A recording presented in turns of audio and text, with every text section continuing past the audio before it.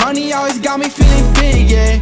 In a drop top, zooming. Yo yo yo, what's up guys? It's ERPI here. In today's video I'll show you guys how to make that crazy Numby build up slash kill effect. It is really easy to make and the only parts you will have to have for this tutorial is the Sapphire and Magic Bullet Looks plugins. But basically other than that, let's get right into the tutorial. So the first thing you wanna do is to sync up the clip with the music and time map it. Hopefully you guys know how to do that because I already done it. I will link an amazing tutorial on that in description if you don't know how to do that. But now we'll start off by making the build up.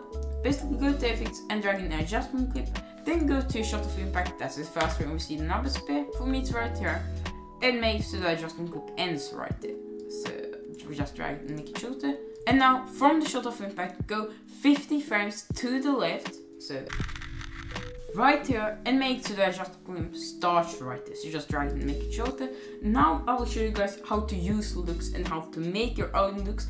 Many comments wanted that, so I will quickly show how to do that right now. If this video gets 50 likes, I will do a full-on tutorial on how to use looks. But let's go to Open Effects and search up looks. Drag and drop it on adjustment clip, go to Effects, and press Edit Look what you want to do now is we will color isolate kind of the character and as we see the character is blue right there so what we will do we will take our HSL colors drag and drop in Sophia and colors uh, it will be in post. So basically and it should look something like this. Press on the HSL colors and as we said I said for me the shark is blue as you see guys. So what I will do I will go to hue slash saturation and drag every color down like this besides blue. But I probably want them to be a bit darker and a bit bluer. So kind of this, you have to play around, but I'll drag, probably drag this down and drag this up a bit. So kind of like this. I think this is really good. You can also play around with this even more, but I think this looks pretty good. Now go to curves and drag this bottom kind of down like this and the suburb kind of up and then in the middle drag kind of more down. So it looks something like this. I really like this look. This looks really good but basically what you want to do now is basically you need to save this look because you will need it later. Basically press on this like save button down here name it uh, tutorial blue RP, I will name it. I'll leave it down in the description if you want exactly the same as me.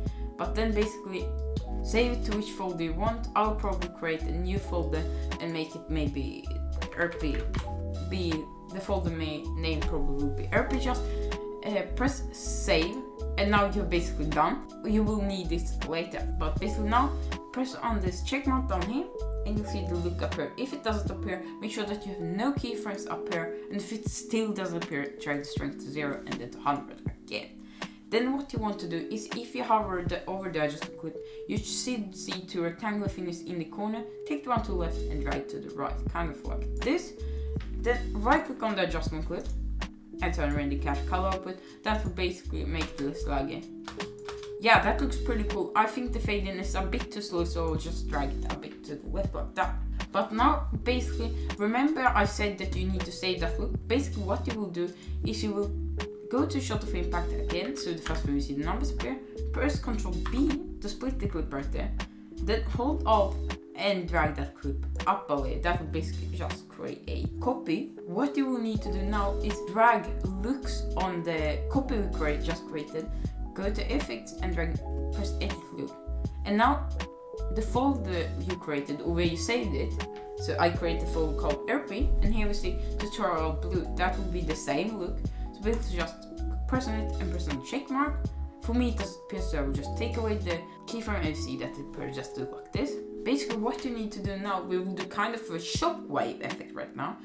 So what you need to do now is you need to find where you think the you want the shockwave like it be done. So I think I want it somewhere here about um, 30 frames to the right. Usually looks good from the shot of impact. Zoom out and make so the ends right there, so like this. And what you will do now is basically hover over the copy and go to color tab.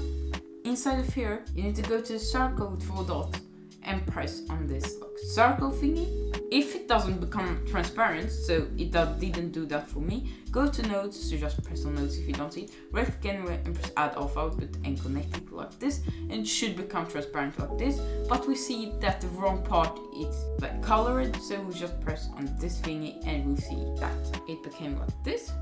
Basically what we'll do now is go to the last frame with this red cursor, so right here, keyframe the correct one, zoom out a bit, and make so the circle covers the whole screen. Then go to the beginning and drag so the circles very small, so something like this. And then untick this uh, keyframe and drag up the softness quite a bit, so something like this.